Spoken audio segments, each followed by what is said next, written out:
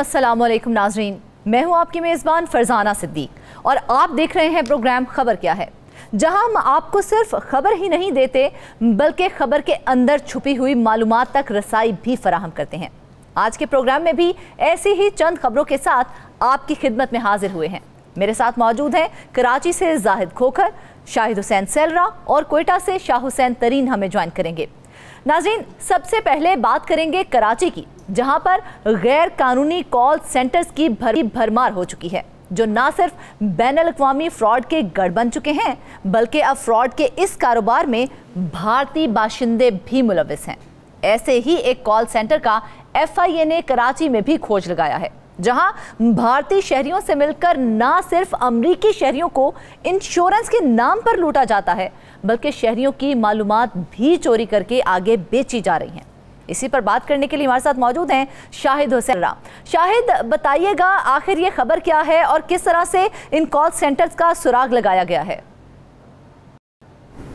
जी बिल्कुल आपका बहुत शुक्रिया। देखिए आपने दुरुस्त फरमाया क्योंकि माजी में भी इस तरह के स्कैंडल जो है आ, कराची में रिपोर्ट होते रहे एफआईए की जानब से कार्रवाई की खबरें और आ, जो कार्रवाई मंजर आम पर आती रही है लेकिन उसमें खातिर खा नतज सामने नहीं है। इसलिए कि कमज़ोर तफ्तीशी निज़ाम और उसके बाद फिर कमज़ोर प्रोसिक्यूशन की वजह से उन मुलजमान को सज़ाएँ नहीं हो सकें जिसकी वजह से ये जो धंधा था वो ख़त्म नहीं हो सका बल्कि मज़ीद अरूज पकड़ चुका है।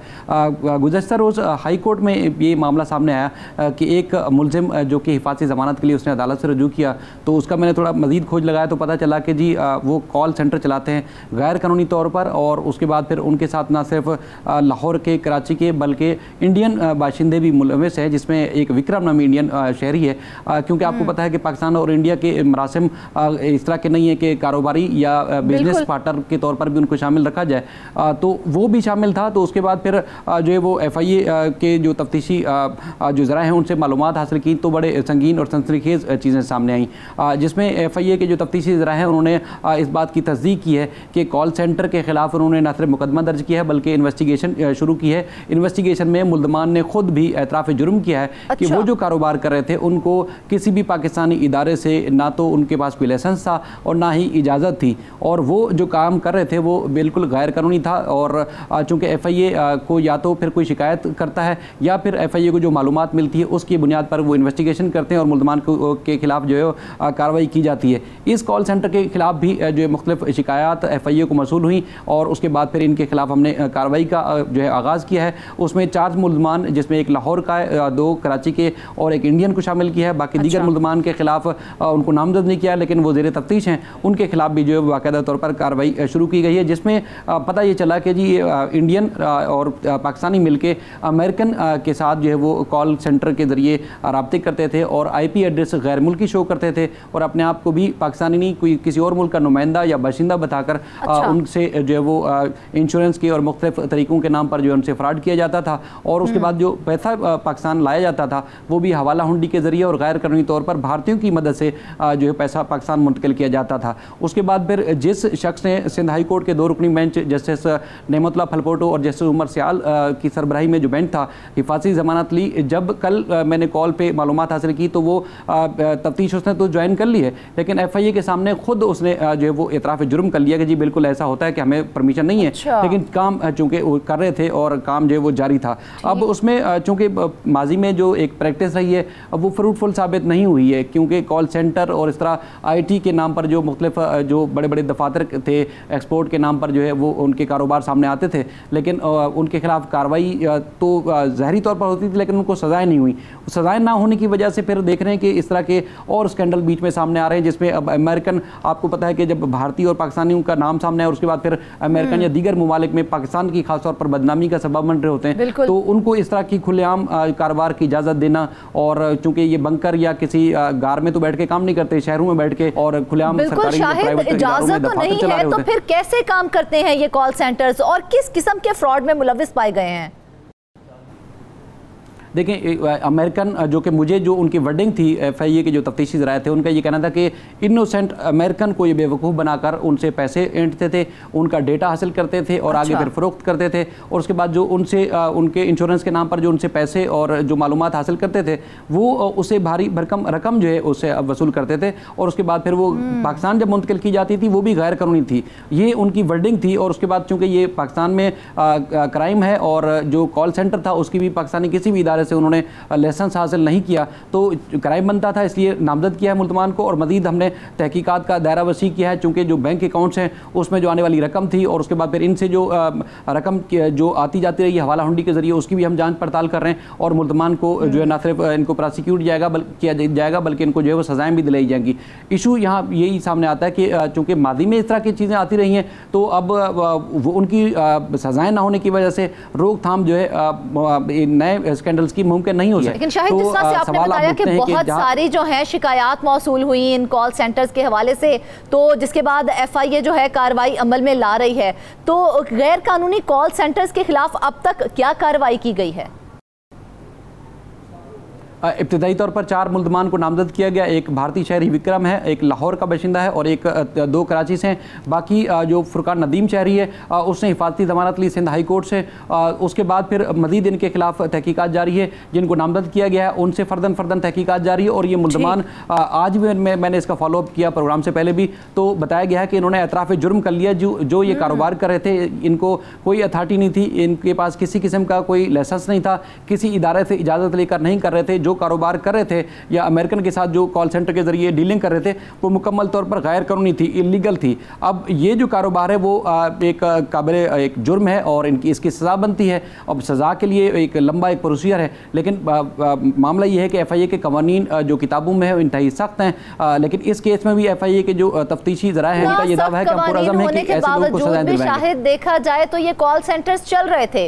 लाइसेंस कैसे हासिल कर लिया किस तरह से कॉल सेंटर डेवलप कर लिया गया। लाइसेंस नहीं हासिल किया गया बगैर लाइसेंस के ये कारोबार जारी था। ये बार बार मैंने तस्दीक की इस बात की कि क्या इनके पास कोई कारोबार करने का कॉल सेंटर चलाने का या इस किस्म का बिज़नेस के नाम पर जो चीज़ें की जाती हैं कोई इनके पास अथॉरिटी लेटर था तो एफ़ आई ए के तफ्तीशी जराए ने ये इस बात की तस्दीक की है कि इन्होंने खुद भी जो मुलजमान है इन्वेस्टिगेशन के दौरान इन्होंने तस्लीम किया कि इनके पास किसी किस्म का सरकारी इदारे से इन्होंने कोई जो है वो लाइसेंस मतलब हासिल नहीं किया। लेकिन जो काम कर रहे थे वो भारतीय शहरी के साथ खामोशी से काम चल रहा था अब कोई नहीं पकड़ रहा था तो इनका काम जारी था। अब एफ़ आई ए ने घेरा तंग किया है। तो ज़ाहिर बुनियादी तौर पर तो इनको जो है वो इनको गिरफ्तारी भी अमल में लाई जा सकती है। जब ये ट्रायल चलेगा तो मज़ीद इनके खिलाफ सख्त से सख्त कार्रवाई हो सकती है। लेकिन यह कि काम ये खुलेआम कर रहे थे लेकिन इजाज़त के बगैर ये काम जारी था। उसमें आप खुद देखें कि जब भारतीयों के साथ मिलकर ये कारोबार होगा तो जैसे मैंने इब्तदा में आपको बताया कि पाकिस्तान का भारत के साथ या किसी भी भारतीय शहरी के साथ ना सिर्फ़ ताल्लुक ममनून है बल्कि कोई कारोबार कारोबारी मरासम भी नहीं रखे जा सकते। भारतीय शहरी मुलविस हैं जबकि उनके साथ तो किसी किस्म का कारोबार भी नहीं कर सकते बहुत सख्त कवानीन है तो फ्रॉड में मुलविस जो भारतीय शहरी है उनकी निशानदही हो सकी है? एक शहरी की अब तक निशानदेही हो चुकी है जिसमें मुलमान ने बताया है कि उसका नाम विक्रम है जिससे आईपी अच्छा। के ज़रिए कनेक्ट होते हैं कंप्यूटराइज सिस्टम के ज़रिए और जब दूसरे किसी ममालिक या ख़ासतौर पर अमेरिकन से बात की जाती है कॉल सेंटर के ज़रिए तो वो फिर ना पाकिस्तान का आईपी एड्रेस शो होता है ना इंडिया का शो होता है वो किसी तीसरे मुल्क का शो करते हैं वहाँ का अपने आप को बाशिंदा बता के इंश्योरेंस के नाम पर जो वो इनोसेंट जो अमेरिकन है उनके साथ ये फ्रॉड करते थे और अब तक ये करोड़ों रुपए का फ्रॉड हो चुका है और जो पैसा बैंक में मुंतकिल किया जाता है एफ़ आई जराए का ये दावा है कि वो पैसा भी इलीगल था, उसकी भी छानबीन जो है वो की जा रही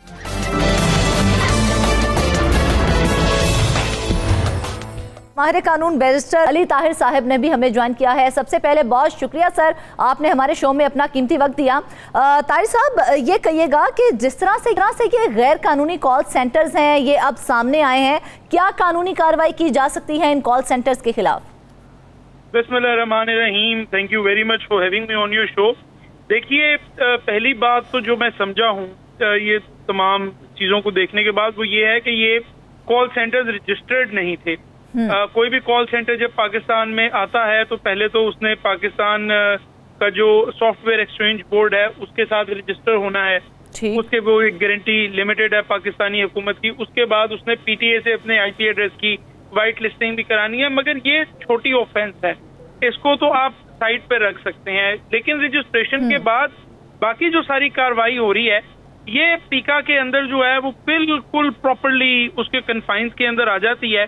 और डेटा थेफ्ट से लेकर इसको स्पूपिंग साइपर स्टॉकिंग तमाम चीज़ों के अंदर इसको लिया जा सकता है जिसके अंदर बड़ी सख्त जो हैं वो सजाएँ मौजूद हैं। अच्छा। अगर ये तीन तीन साल की सजाएँ भी इनको होती हैं तो वो कंजेकेटिवली रन करती हैं। तो ये तो बारह बारह से पंद्रह साल की ऑफेंस जो है ये ऑलरेडी कमिट कर चुके हैं। और इसके अंदर जो एक अहम बात है वो ये है कि ऑल दो ये सारी जो पावर है एक्सरसाइज करने की ये एफआईए के पास है मगर पीका के तहत जो है सिर्फ़ तीन ऐसी ऑफेंसेज हैं जो कॉग्निजेबल हैं। कॉग्निजेबल से मुराद ये है कि जिनके ऊपर डायरेक्ट गिरफ्तारी डाली जा सकती है।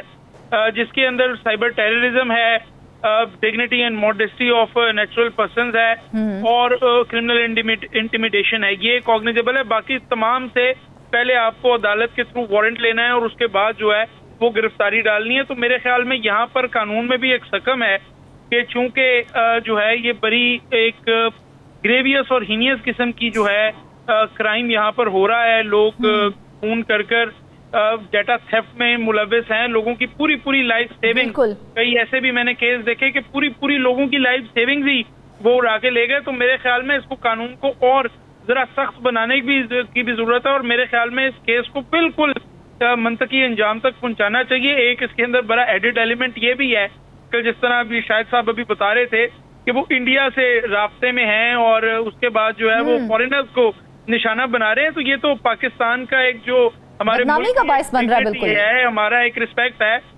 वो पहले ही बड़ा फैदमेबल नहीं है आपको पता है। उसको अगर और इफ़ेक्ट किया जाता है तो मेरे ख्याल में तो इसको बड़ा स्ट्रिक्टली इसको ऑफेंसेस को डील करना चाहिए। अच्छा अली ताहिर साहब ये भी बताइए कि जिस तरह से इसमें गैर मुल्की मुलविस पाए गए हैं तो हुकूमत पाकिस्तान जो है उनके खिलाफ भी कोई कार्रवाई अमल में ला, ला सकती है? कोई कानूनी चारा जो की जा सकती है उनके खिलाफ? जी, बिल्कुल, टीका के जो प्रोविजंस हैं और पाकिस्तान पिनल कोड के प्रोविजंस वैसे भी जनरली ये एक्स्ट्रा टेरिटोरियल इन नेचर है। यानी हमारा जो आइन है, वो क्रिमिनल लॉज दो जगह पे बनाने की इजाज़त देता है। एक तो वफाक के लेवल पर और एक सूबाई लेवल पर यह वाइड सब्जेक्ट है, जहाँ पे दोनों सूबाई और वफाकी असेंबलियाँ जो है लेजिस्लेट कर सकती हैं। मगर फ़र्क ये है कि सूबाई असेंबली सिर्फ़ अपने सूबे के अंदर, मगर वफाक की जो हमारी नेशनल असेंबली और सेनेट है पार्लियामान है वो एक्स्ट्रा टेरिटोरियली यानी पूरे मुल्क के लिए भी लेजिस्लेशन कर सकती है। तो ये जो पीका के प्रोविज़न मौजूद हैं इसके अंदर बिल्कुल ये ऑफेंस अगर कोई पाकिस्तान से बाहर भी कमिट करता है और किसी और मुल्क का शहरी भी है तो वो भी इसके जो बॉर्डर्स हैं उसके अंदर आ जाता है। और एफ़ आई ए की जुरिस्डिक्शन भी बन जाती है। मगर प्रैक्टिकली स्पीकिंग चूँकि आपको पता है इंडिया है तो वो एक्स्ट्रा डाइट तो अपने किसी शहरी को करने नहीं देंगे। और ऐसा हो नहीं सकता कि आप कोई एयरफोर्स वहाँ पे भिजवा कर और उसको एयरलिफ्ट करवा के ले आए। ये भी कोई इसका भी कुछ ज़्यादा प्रोबेबिलिटी नहीं है। तो मेरे ख्याल में ज़ाहिर है वो जो विक्रम है उसके खिलाफ शायद एक्शन हो ना सके मगर कानून के अंदर प्रोविज़न ज़रूर मौजूद है। और इसका फिर तरीकाकार ये है कि जो इंटरनेशनल पुलिसिंग ऑर्गेनाइजेशन है जिसको आप इंटरपोल कहते हैं आम लफ्जों में उसके तहत उसको मांगा जाए उसको पाकिस्तान बुलाया जाए और वो यहाँ पर एक फेयर ट्रायल जो हमारे आइन के तहत तमाम अ, जो ना सिर्फ़ पाकिस्तानी शहरियों के लिए बट दुनिया में से कहीं कोई भी आए उसके लिए फेयर ट्रायल के प्रोविज़न हैं वो अपना फेयर ट्रायल फेस करेगा। अच्छा अली ताहिर साहब किसी की जाती मालूम चोरी करना फिर उसे आगे देना कितना बड़ा जुर्म है और कितनी मैक्सिमम सजा इस हवाले से दी जा सकती है? देखिए अनफॉर्चुनेट बात है कि डाटा सेफ्ट के ऊपर जो सजा मौजूद है वो तीन साल की है। मेरे ख्याल में इसको कई गुना ज़्यादा होना चाहिए। मगर एज द लॉ स्टैंड वो इतनी है लेकिन इसमें इस बात को भी आप मद्देनजर रखिए कि ये अगर एक शख्स से किया है तो फिर उसका क्वांटम ये बनता है। अगर ये आपने दस लोगों के साथ किया है तो ज़ाहिर है वो फिर तीस साल बन जाती है। तो मेरे ख्याल में तो जो मैग्नेमिटी है जो हमें अभी तक रिपोर्ट्स मिली है और कर्टसी ऑफ़ शाहिद साहब हमें ये रिपोर्ट्स मिली हैं तो मेरे ख्याल में तो ये बड़ी जो है मिलिशियस किस्म की ऑफेंसेस हो गई हैं। और ये अगर 10 से 12 विक्टिम सामने आ गए तो ये तो तीस तीस चालीस चालीस साल की जो है सेंटेंसेस इनके बन जाएँगे। बिल्कुल शाहिद अली ताहिर माहिर कानून हमारे साथ मौजूद हैं। सवाल कीजिएगा उनसे कोई। जी एक एक सवाल ये बनता है जिसमें चूँकि जो मुतासरीन हैं वो गैर मुल्की हैं जिसमें ज़्यादातर तो बताया गया एफ़ की तरफ़ से कि अमेरिकन हैं तो क्या उनका गवाही के लिए या अपना एफ़ को बयान रिकॉर्ड करवाना ज़रूरी है या एफ़ के पास इख्तियार है कि वो बयान रिकॉर्ड नहीं करवाते तब इनके खिलाफ जो मुलजमान इनके खिलाफ एक मौसर कार्रवाई कैसे कर सकता है एफ़ नहीं, देखिए, मेरे ख्याल में अगर वो बयान रिकॉर्ड नहीं कराएँगे तो इससे, जो केस है, वो बड़ा कमज़ोर पड़ जाएगा। तो मेरे ख्याल में चूँकि वो कंप्लेनेंट्स हैं और मेरे, वो उनके साथ जो है वो फ्रॉड भी हुआ है तो मेरे ख्याल में तो उनको मोटिवेट करना चाहिए इनक्रेज करना चाहिए कि वो आए और अपनी गवाही जो है, वो लाजमी यहाँ पर जो है, वो रिकॉर्ड करवाएँ। और मैं आपको अपने एक्सपीरियंस से बता सकता हूँ कि मैं जिस वक्त लंदन में एक दफ़ा गया हुआ था तो एक मेरे ऊपर रेसिस्ट हमला हुआ और कुछ मुझे थोड़ा सा जो है वो नाक पे चोट भी लगी। तो मैंने तो वहाँ पुलिस को कंप्लेन भी की थी और अपना बयान भी रिकॉर्ड करवाया था। तो ये तो मेरे ख्याल में ज़रूरी है कि जो विक्टम्स हैं, हम उन्हें बताएँ कि हमारा कानून उनको प्रॉपरली प्रोटेक्ट करेगा, मगर इसके अंदर उनकी कॉपरेशन भी जो है वो भी साथ रिक्वायर्ड होगी, ताकि ये एक मज़बूत तरीन केस बनाकर अदालत के सामने रखा जाए और फिर इन लोगों को सजाएँ जो हैं, वो प्रोबेबिलिटी के साथ हों। अच्छा आपने ताहिर साहब देखा कि हालिया दिनों में एक और केस कराची में चल रहा है जिसमें बच्चों की ट्रैफिकिंग के हवाले से संगीन इल्ज़ाम हैं, जिसमें अमेरिका की जो एम्बेसी है, उनकी शिकायत के ऊपर कार्रवाई की गई एक इंटरनेशनल ट्रस्ट के खिलाफ। तो ये अगर अमेरिकन शिकायत बार बार एफ़ आई ए को कर रहे हैं तो इसका मतलब ये है कि यहाँ से पाकिस्तान से उनके साथ या उनके शहरीों के साथ जो फराड, फ्राड है, वो बड़े पैमाने पर हो रहा है। जी, बिल्कुल नज़र तो यही आता है, चूँकि वो एम्बेसी खुद जो है वो एक तरह से जिसको आप कहें कि कंप्लेनेंट तो आप शायद उसको नहीं कहें बट जो फ़र्स्ट इन्फॉर्मेशन है, वो एम्बेसी की तरफ़ से ही आई है, जिसके ऊपर ये तो सारी कार्रवाई हुई है। अलबत् एक सबजूडिस मैटर है देखना पड़ेगा इसके अंदर के क्या इन्वेस्टिगेशन होकर सामने आती है और कोर्ट जो है वो किस नतीजे पे पहुँचती है। लेकिन इसके अंदर ये मैं ज़रूर शायद साहब इस पॉइंट पे जो है बताता चलूँ कि ये डेटा थेफ्ट जो है, ये तो बड़ा छोटा ऑफेंस है, मगर चाइल्ड ट्रैफिकिंग जो है ये तो बहुत ही एक हीनियस ऑफेंस है और इसमें तो ज़ाहिर सजाए मौत भी अट्रैक्ट होती है। तो इसको तो किसी सूरत भी जो है वो लाइटली नहीं लिया जा सकता। और मेरे ख्याल में अगर कोई भी चाइल्ड ट्रैफिकिंग यहाँ से हुई है और वो प्रोटोकॉल्स और प्रोसीजर्स जो पुट इन प्लेस हैं एडॉप्शन के हवाले से वो उसके बाद हुई है तो जो मैक्सिमम सेंटेंस लॉ जो है वो प्रोवाइड करता है वो एप्लीकेबल हो जाता है। बिल्कुल सजाएँ भी अमल में लाई जाएँ तो ही कुछ सामने आ सकता है। शाहिद, आपने भी अली ताहिर साहब की बात सुनी। लेकिन एक चीज़ जो इसमें बहुत बेसिक है वो ये है कि आम शहरियों का डाटा किसे और क्यों फ़रोख्त किया जाता है? ये कॉल सेंटर्स ऐसा क्यों कर रहे हैं? क्या इसकी तफसीलात सामने आ सकी हैं? देखिए, बुनियादी जो चीज़ है वो तो पैसा है। पैसे के लिए सब कुछ किया जा रहा है।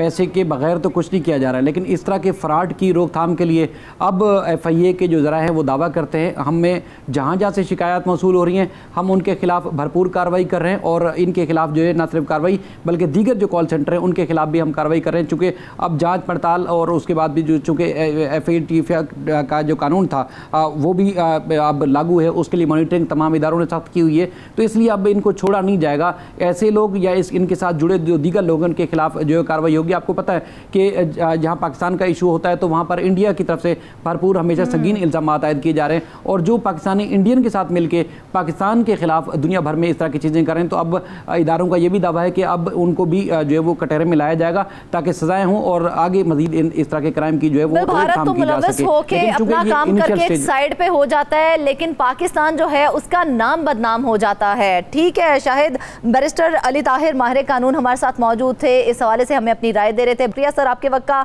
नाजरीन, इन तमाम गैर कानूनी कॉल सेंटर्स के खिलाफ अगर फौरी तौर पर कोई कार्रवाई अमल में ना लाई गई तो ये आगे भी पाकिस्तान की बदनामी का बायस बन सकते हैं। वापस आएँगे एक ब्रेक के बाद।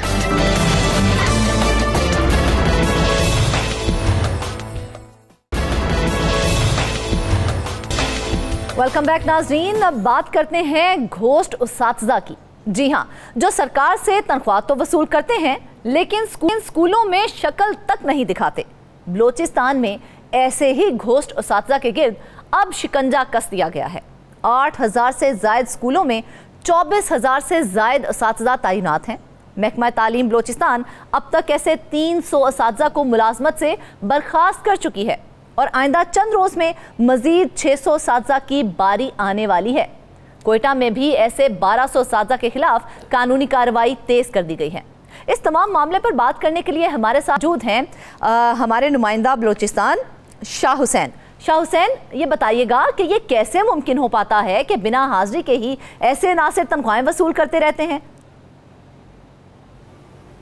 जी, बिल्कुल ये आज की बात नहीं है, बलूचिस्तान में जो हम तालीमी सूरत हाल देख रहे हैं, सुबह में इंतहाई ख़राब है, और ये सिलसिला अभी की नहीं, अभी का नहीं है, ये कई, काफ़ी अरसे से, बल्कि दहाइयों से यह सिलसिला चला आ रहा है।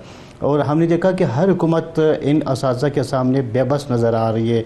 यानी एक तो इस के अपने यूनियंस हैं, जो कि उनके ख़िलाफ़ किसी भी कार्रवाई की सूरत में वो आड़े आ जाते हैं, एहतजाज का सिलसिला शुरू हो जाता है। दूसरी जानब, इनकी सियासी बुनियादों पर भर्तियाँ हैं टीचर्स की।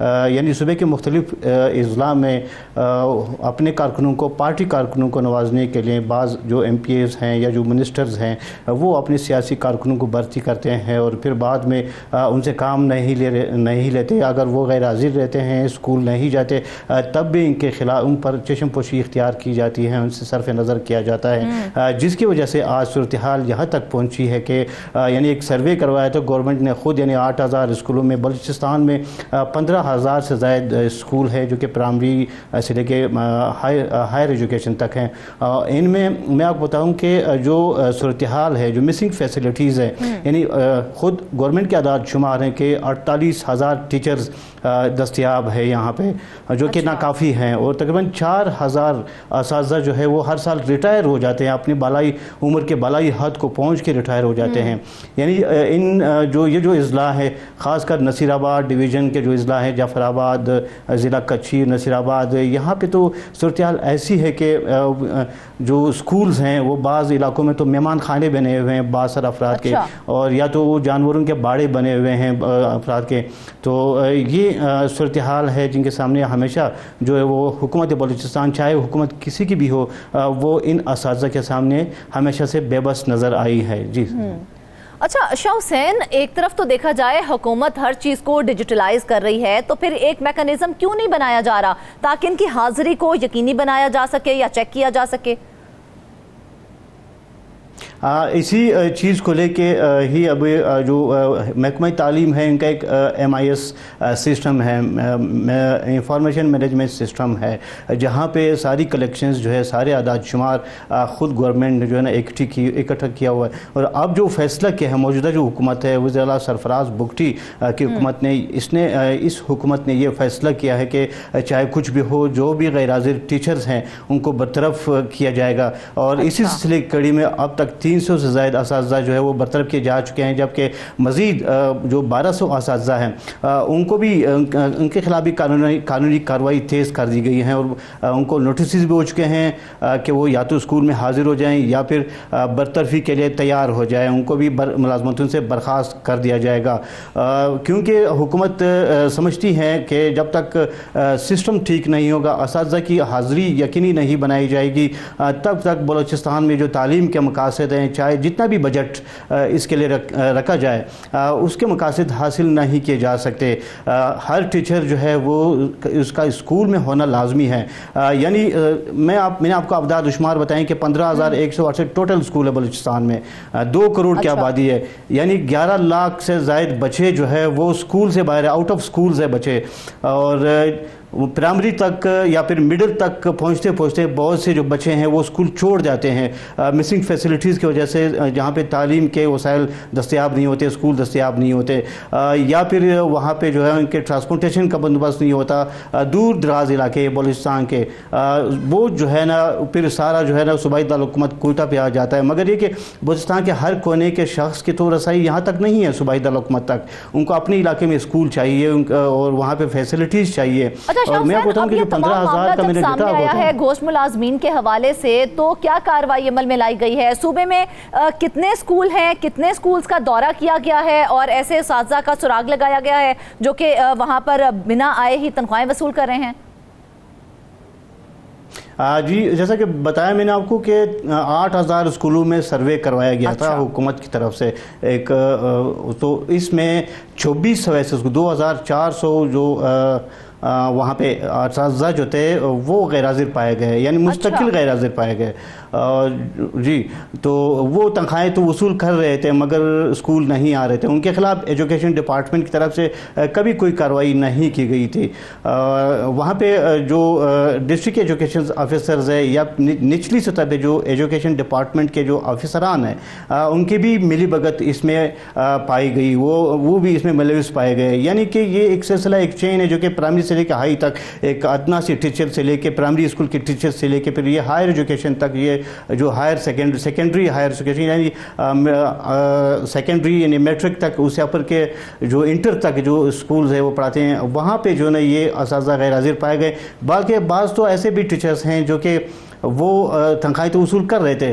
आ, मगर वो यहाँ पे मौजूद ही नहीं थे। मुल्क में ही मौजूद नहीं थे। अब्रॉड अच्छा। है कोई मुलाजमत कर रहे हैं कोई वहाँ पे जो बिल्कुल कोई बिज़नेस कर रहे हैं तो बैरून मुल्क जाके वो कारोबार कर रहे थे। तो चूँकि यहाँ पे किया जाएगा या उनसे लूटा हुआ पैसा भी वापस लिया जाएगा? क्योंकि वो पैसा तो उन्होंने बिना कुछ लिए किए लिया है। आ, नहीं अभी तक यहाँ पे ऐसा कोई सिस्टम राइज नहीं हुआ है कि जो जो शख्स मुलाजमत से बरतरफ होता है या फ़रज़ में गफलत बरतने पर या करप्शन की बुनियाद पर या किसी भी कोताही की बुनियाद पर उनसे जो अमरात है वो उनसे वापस ली जाए जो उन्होंने तनख्वाही वसूल की वो उनसे वापस ली जाए यहाँ हम्म। तक यहाँ अब तक ये सिस्टम डेवलप नहीं हुआ है तो इसीलिए वो जो बरतरफ होता है वो तो यानी वो तो खुश होता है कि यानी तनख्वाहें यानी बीस साल ठीक है पैसा जो आना था वो आ हाँ, गया तो बरतरफ कर दिया हम्म। वो और फारिग हो गए वो सुकून से अपना अगला काम भी कर लेंगे फिर। जी ताकि मजीद कोई तादबी कार्रवाई भी नहीं होगी मजीद उनसे कोई रिकवरी भी नहीं होगी। अब तक जो उन्होंने हासिल कर लिया है जितनी भी तनख्वाहें यानी दस साल तक पंद्रह साल तक वो गैर हाजिर रहा तनख्वाह घर में मिलती रही उनको। हम्म। अब जब उनको बरतरफ भी किया गया है तो आ, उनका तो कोई नुकसान नहीं है। बिल्कुल। जो उन्होंने तो वैसे भी कोई और काम करना है उन्होंने वैसे भी तजारत करनी है उन्होंने वैसे भी जाके तो सियासी बुनियादों पर कहीं और भी काम काम कर तो इसीलिए उनका कोई नुकसान नहीं है। नुकसान है गवर्नमेंट का नुकसान है हम्म। आवाम का नुकसान है इन बच्चों का इन वालदे का जो कि गवर्नमेंट के आसरे पे वो स्कूल बेचते हैं बच्चों को। यहाँ पे इस गुर्बत के इस दौर में माशी बदहाली के इस दौर में कि गवर्नमेंट इतना खर्च कर रही है तालीम के तालीम के ऊपर। हम्म। मगर उसके मकासद हासिल नहीं हो रहे। यानी इस सिस्टम में बड़े पैमाने पर सर्जरी की ज़रूरत है। तालीमी निज़ाम की बड़े पैमाने पर सर्जरी की ज़रूरत है। अगर गवर्नमेंट को अपना तालीमी निज़ाम ठीक करना है तो सबसे पहले जो टीचर्स गैर हाजिर हैं उनको हाजिर करना पड़ेगा कि वो जाके तो अब जब मामला संगीन सूरत इख्तियार कर चुका है हुकूमत को थोड़ी बहुत होश आई है तो क्या महकमा तालीम हाजिरी पर चेक एंड बैलेंस के लिए अब कोई सिस्टम बना रहा है? जी अब हाजिरी पर चेक एंड बैलेंस का सिस्टम बना रहे हैं। महकमा तालीम के ऑफिसरान को पाबंद किया जा रहा है कि वो जाएँ डिस्ट्रिक्ट हम्म। सतह पे तहसील के सतह पे जाएँ और चेक करें कि वहाँ पे स्कूलों के दौरे करें। वहाँ पे चेक करें कि क्या टीचर्स आ रहा है क्या जो नॉन टीचिंग स्टाफ है वो आ रहा है या नहीं आ रहा। है उनकी हाजिरी चेक करें उनका तालीमी निज़ाम चेक करें कहाँ तक पढ़ाई हो रही है, कहाँ तक नहीं हो रही, बच्चों से पूछें, वालदेन से मालूम करें। अभी ये इब्तदाई मराहल में है कि जाके वो यहाँ पर ऐसा सिस्टम डेवलप करें कि टीचर्स की हाज़िरी यकीनी बनाई जा सके। बिल्कुल, इस हवाले से पूरा एक मेकानिज़म तैयार होना चाहिए और हुकूमत को होश के नाखुन लेने चाहिए, क्योंकि जो कल के हमारे मेहमान हैं, अगर वो इसी तरह से गफलत का शिकार होते रहे तो आने वाला मुस्तबिल जो है, उन मासूम बच्चों का या तो हमें गलियों में दिखाई देगा, या फिर किसी वर्कशॉप पर बैठा हुआ दिखाई देगा। तालीम से उनका कोई लेना देना नहीं होगा। इस हवाले से हुकूमत को सोचना चाहिए। नाजरीन, वापस आएँगे एक ब्रेक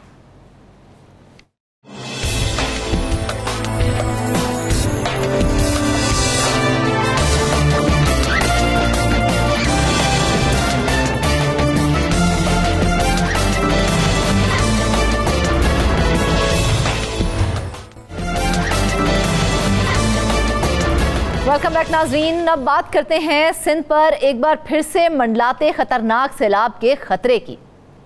अभी पिछले सैलाब की तबाही के जख्म भरे नहीं थे कि एक बार फिर सैलाब की पेशगोई सामने आ गई है। पीडीएमए ने जुलाई में कराची, हैदराबाद, लाड़काना, सखर और मीरपुर खास में अर्बन फ्लडिंग के शदीद खतरात भी ज़ाहिर किए हैं।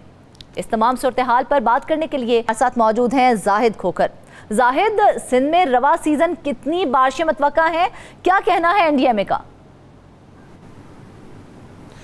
जी बिल्कुल सिंध ऐसा सूबा है कि जिस जिनके लोगों को हर साल लाखों लोगों को इस तरह से जो सैलाब है उस उसका सामना पर करना पड़ता है और ये कोई कुदरती आफात वैसे नहीं होती है मगर एक मैनेजमेंट और दीगर मामला होते हैं उसके मुताबिक उसके मुतल भी आपको मैं आगाह ज़रूर करूँगा मगर इस वक्त जो पी डी एम ए ने रिपोर्ट जारी की है जो सूबाई डिज़ास्टर मैनेजमेंट अथॉरिटी की जानब से उसके हम्म। मुतल बताएँगे कि उन्होंने ये ख़तरा ज़ाहिर किए हैं कि अर्बन फ्लडिंग भी आ सकती है और अच्छा। नॉर्मल रूटीन से ज़्यादा ये बारिशें होंगी और कई गुना ज़्यादा बारिशें होंगी, इसलिए उन्होंने एक रिपोर्ट जारी की है और रिपोर्ट के बाद उन्होंने सिंध हुकूमत को भी कहा है कि इस मामले को जो है तमाम इदारे एक साथ बैठ जाएँ और इसको एड्रेस किया जाए। ये जो रिपोर्ट है, इसके मुताबिक जो बताया गया है कि कराची में रवा साल जुलाई में एक सौ तेरह आशारिया दो फ़ीसद, जबकि अगस्त में एक सौ चार आशारिया छः फ़ीसद ज़्यादा बारिशें अच्छा। होंगी और उसके बाद ये भी बताया गया हैदराबाद में जुलाई में एक सौ दो आशारिया तीन जुलाई में और अगस्त में एक सौ छः आशारिया छः फ़ीसद ज़्यादा बारिशें होंगी। उसी तरह से छोर थरपारकर का ज़िक्र किया गया है। मोहन जो दड़ो लारकाना का ज़िक्र किया गया है। और ये भी कहा गया कि दरियाए सिंध में भी जो फ्लडिंग की सूरत रहेगी तकरीबन इन दो माह के दरमियान जो जुलाई और अगस्त पानी का बहाव पाँच लाख क्यूसिक्स से बढ़कर नौ लाख क्यूसिक्स के दरमियान जो है वो हो सकता है। इसलिए अच्छा। दरिया की जो पुश्तें हैं उनको भी मज़बूत करने की ज़रूरत है। हम्म। उस पर भी निगरानी करने की ज़रूरत है ताकि दरिया सिंध की पुश्तों को अगर कोई नुकसान हुआ तो ये ज़्यादा जो है वो सैलाब भी आ सकता है। तो इसका जो एक फ़्लो होता है दरिया सिंध में जो रेला होता है जो हम्म। इस जो सूरत सैलाब वाला उसको स्मूथली समंदर के रास्ते उसको गुजारना होता है। ये तमाम मामला के मतलब उन्होंने आगाह किया है। और एल बी ओ डी के मतलब L B O D B के ज़रिए बिरपुरखा सांगढ़ शहीद बेनज़ीराबाद ये वैसे भी जब बारिशें भी होती हैं तो भी इस एल बी ओ डी को ख़तरात लाक होते हैं। ये सेम का जो पानी है वो इसका डाइवर्ट करने के लिए एक प्रोजेक्ट है हम्म। दूसरी जो बात अहम है कि जो बलूचिस्तान के रास्ते से पानी आता है सिंध के अंदर उस पानी जो कोहे सलेमान सलेमान रेंज भी उसको कहा जाता कहा जाता है जामशोर कंबर शदात कोट और दादू के अजला इससे मुतासर हो सकते हैं। तो उस पानी को भी एक सेफ़ एग्ज़िट देना चाहिए। उसको भी मदद नज़र रखते हुए महकमा आपाशी या दीगर जो इदारे हैं उस पर काम करें ताकि उनकी उनके जो है वो भी आवाम के लिए जो है नुकसानदेह साबित ना हो सके। हम्म। दरिया सिंध के कच्चे के मतलब बताया गया है कि इस सैलाब के दरमियान तकरीबन छः लाख लोगों को रकल मकानी करनी होगी। तो इसलिए उनके रहने का उनके खाने पीने का इंतज़ाम भी सिंध हुकूमत को करना होगा। दरियाई सैलाब से कच्चे के तकरीबन एक लाख लाख के करीब जो है वो घर मुतासर होंगे और अच्छा। तकरीबन साढ़े छः सौ गोट हैं नौ लाख एकड़ फ़सलें जो हैं जो लोग करते हैं वहाँ पर कच्चे के इलाके में वो भी तबाह होंगी तो मज़ीद उन्होंने ये भी कहा है कि जो मुख्तलिफ़ इदारे हैं महकमा बल्दियात है आपाशी रेवेन्यू उन तमाम इदारों को ऑन बोर्ड रखा जाए ताकि इस सूरत हाल को जो है फेस किया जा सके। अब मैं आपको बताता हूँ कि दो साल तकरीबन कबल ही 2022 में ये सैलाब आया था और शदीद तरीन सैलाब था। सैलाब ये भी नहीं था कि कोई कुदरती कोई आफत होती है तो हम समझ लें कि कुदरती आफत आ गई है। तो अब हम्म। लोगों को क्या कहा जा सके? मगर आप बता दूँ आपको कि मंशर झील को इसी तरह से जो कोहे सलेमान रेंज या बलूचिस्तान से आने वाले पानी उसमें जो है वो पड़ता रहा था अच्छा। और इसको एक एटम बम की तरह बनाया गया था मंचर झील को क्योंकि मंचर झील और दरिया सिंध का एक ऐसा सेटअप है कि जो बलूचिस्तान से पानी आता है वो मंसर झील में होता है और मंसर झील का पानी जब दरिया में नहीं होता है तो उसको अखराज करना होता है ताकि वो पानी बहता रहे और वो दरिया सिंध उस वक्त इतनी के उस इतना पानी नहीं होता है तो उसमें अखराज आसानी से हो सकता है अच्छा। हो सकता था मगर हाँ। जो 2022 में उस पानी को बंद रखा गया उसको इतना हम हमेशा महकमा आपाशी से पूछते रहते थे कि अब पानी का ये जो मामला है बढ़ रहा है तो लिहाजा इसका अखराज भी होना चाहिए शुरू से इस बात को मद्देनज़र रखना चाहिए था मगर वो नहीं रखा गया जब ये मंशर झील के जो पुश्ते हैं बंद हैं टूट गए लाखों लोग दरबदर हो गए उनके घर तबाह हो गए, उनकी ज़मीनें तबाह हो गई, उनके बाल बच्चे जो हैं वो तबाह हो गए तो उसके बाद भी ये सवाल उठते रहे। और बदकस्मत ये है कि ये हल्का जो हमारे वज़ीर सिंध हैं, उनका है खुद का खुद उस वो इस बात से कोई लाइल्म रहे या जो लोग भी ये कहते हैं कि शायद जो लोगों को डबोया गया जो है हाथ से इस तरह से उसको एटम बम बनाया गया ताकि वो कहीं ना कहीं से तो टूटेगा। से हम तो उम्मीद तो करते हैं कि है कि सांप गुजर जाता है बाद में लकीर को पीटा जाता है जब कुछ हो जाता है उसके बाद उस पर अफसोस किया जाता है। अब तो जो पेश गोई कर दी गई जो गुजश्ता हो गया सो हो गया अब उसका तो कोई सदेबाब नहीं है। लेकिन अब जो मौजूदा पेश गोई की गई है उस हवाले से आबी गुजरगाहों की क्या सूरत हाल है। क्या उन पर कोई काम किया जा रहा है अब? कुछ नहीं काम हुआ है। अब इस वक्त तक कोई काम ऐसे इस तरह से प्रोजेक्ट आने चाहिए थे कि चले जो हम्म। गुजर गए हैं वो कोई इस तरह से उनको उन पर काम होता। महकमा आपाशी भी पॉइंट आउट करता कि इन गुजर गुजरगाहों से अगर बारिश भी होती खुदा न खासा तो उनको पानी को एक रास्ता दिया जाए। पानी कहीं नहीं जाएगा। अगर उसको आप कोई रास्ता नहीं देंगे एक सिस्टम होता है तो पानी तो उधर ही मौजूद रहेगा। अगर अर्बन फ्लडिंग की हम बात करते हैं कराची के अंदर भी ऐसा ऐसे मामला थे कि वहाँ पर रिहायशी सोसाइटीज़ बन गई हैं। आप उनको कैसे हटा सकते सकते हैं। एक ये है कि कराची के अंदर तो सब सिंध हुकूमत का तमाम का फोकस होता है। यहाँ पर लोग जो है मशीनरी भी होती है सब कुछ होता है। एक दो दिन के अंदर पानी निकाल भी लेते हैं। हम्म। मगर जो गाँव देहात हैं वहाँ पर तो हमारा मीडिया भी नहीं जाता। हमारा मीडिया सिर्फ़ शहरों तक महदूद होता है। हकीकत ये है जो फैक्ट है कि हम सिर्फ़ शहर के अंदर जो सूरत है वो दिखाते हैं शहर से बाहर निकलने के लिए। हमें जो है कोई ना टाइम होता है ना हमें कोई फुर्सत हुई नहीं हमारी कोई प्रायोरिटी होती है शायद। तो इसलिए उनके गाँव देहात में जितने लोग हैं वो मर रहे होते हैं। उनको तो हम फोकस भी नहीं करते हैं तो उनको पानी कैसे निकालेंगे? जब तक ये खुद कुदरती तौर पर ना सूखे तो इनको एड्रेस करने की ज़रूरत है और ये भी मैं आपको बता दूँ कि कुछ रोज़ कबल भी चीफ सेक्रेटरी के जेर सदारत इजलास हुआ था और उनमें भी तमाम ये मुतल इदारों ने शिरकत की इवन सूबाई उजरा ने भी।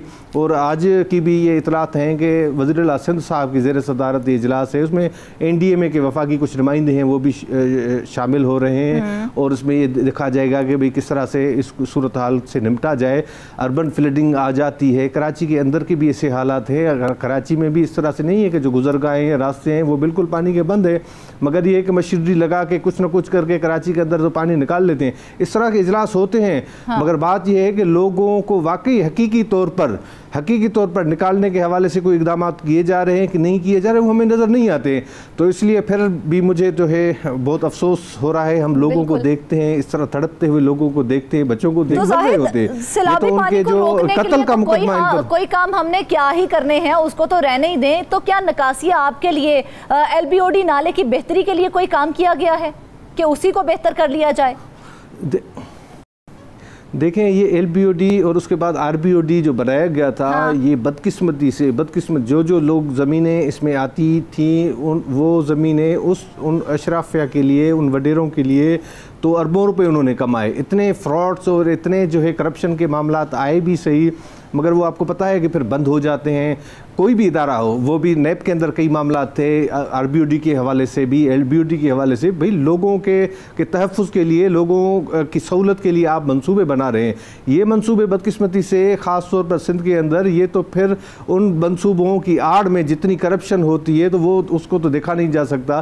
तो इन दोनों जो है आर भी इसी तरह से एल भी जब बारिशें होती हैं तो बजाय उसके को वो पानी वो निकाला जाए मुख्तलफ वो फिर वो भी डैमेज होती हैं। आप जो है ना आर आर बी डी के हवाले से भी हम बा, बात करें इसकी छंडन जो है वहाँ से जो निकल से उसका भी मकसद बुनियादी तौर पर यही था कि वो पानी सहूलियात मुहैया करें ना कि उनके लिए परेशानी का बायस बने। जब कोई मुसीबत उनके सर पर टूट जाए फिर जाके उनके साथ जो है हम हमदर्दी करें या रहमदिली का मुजाहरा करें तो वो किसी काम की नहीं है। नाजरीन इन तमाम के ऊपर हुकूमत को संजीदा हो के सोचना पड़ेगा कि आखिर हम अपनी आवाम के लिए क्या कर सकते हैं। अहम मौजूद पर तफसीली गुफ्तु आपने सुनी है। उम्मीद है जिम्मेदारान भी ख्वाब गफलत से बेदार होंगे और इन संगीन मामला की जानब अपनी तवज्जो मरकूज करेंगे। यहाँ प्रोग्राम का वक्त खत्म हुआ चाहता है। मजीद अच्छी खबरों के साथ जल्द दोबारा हाजिर होंगे। अपना ख्याल रखिएगा। अल्लाह हाफिज़।